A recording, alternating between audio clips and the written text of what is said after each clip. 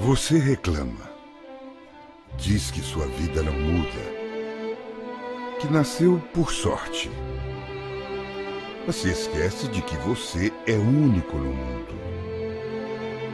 Privilegiado dentre 7 bilhões de habitantes.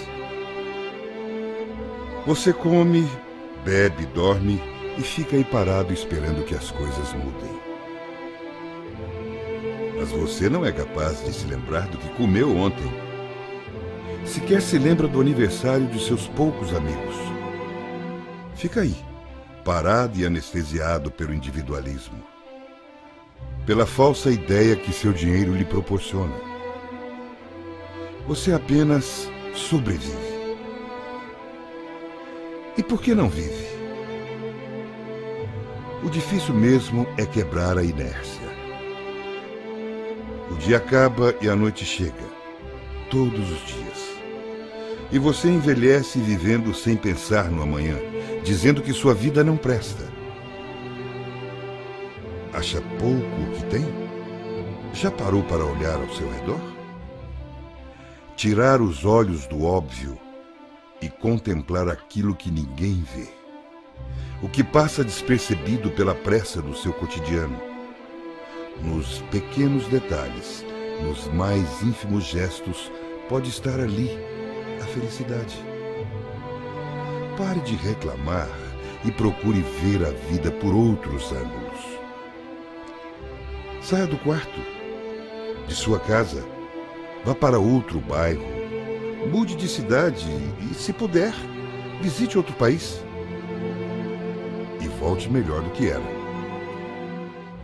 Não tenha vergonha de suas origens. Lembre-se, tem muita gente que come pouco ou quase nada, que bebe o que tem e implora para que suas crias não morram de fome e sede. E morrem.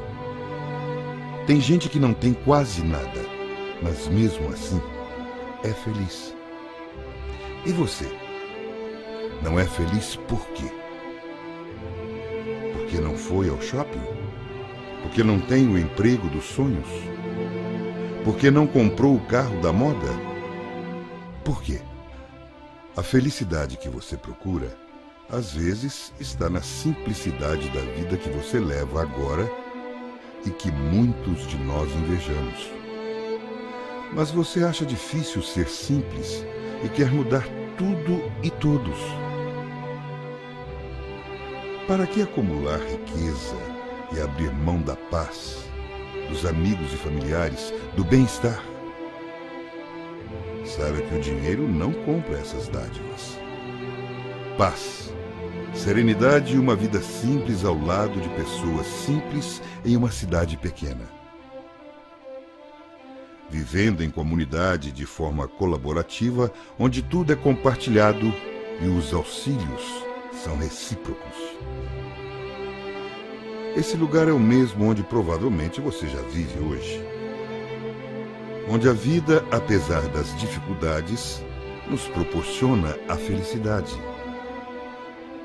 Então, se quer que o mundo mude, mude você primeiro, que o mundo muda com você.